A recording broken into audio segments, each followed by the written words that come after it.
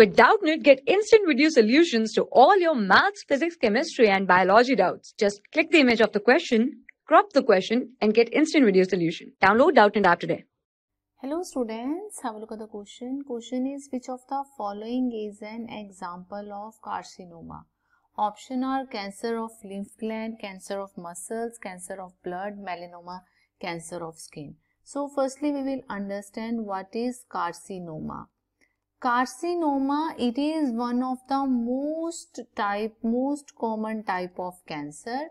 We can write it as a most, most common type of cancer that occur in the body. That is the carcinoma.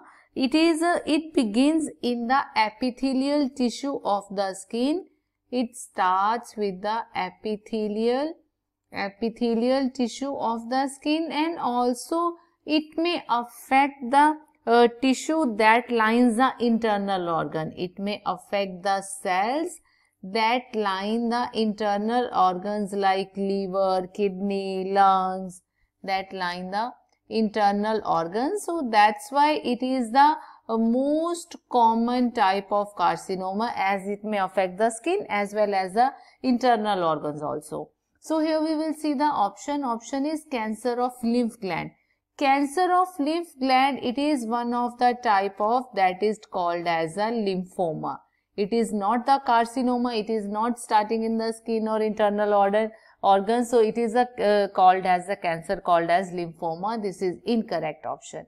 Next is cancer of muscle. Cancer of muscle that is called as a, any cancer related to muscles, bone, cartilages that comes under the sarcoma. So this is also incorrect option. Next is cancer of blood. Cancer of blood that is called as a leukemia. It is called as a leukemia is the cancer of the blood. So we can say that this is also incorrect option and next is the melanoma cancer of skin. Melanoma means which affect the melanocytes. There is abnormal growth of skin cell of the um, uh, uh, skin cells that is melanocyte and it is uh, affect the epithelial tissue of the skin. So, it's a most common type of cancer and it is one of the carcinoma. It means option D that is correct. Hope you get it. Thank you. For class 6 to 12, IIT JEE and NEET level. Trusted by more than 5 crore students. Download Doubtnut app today.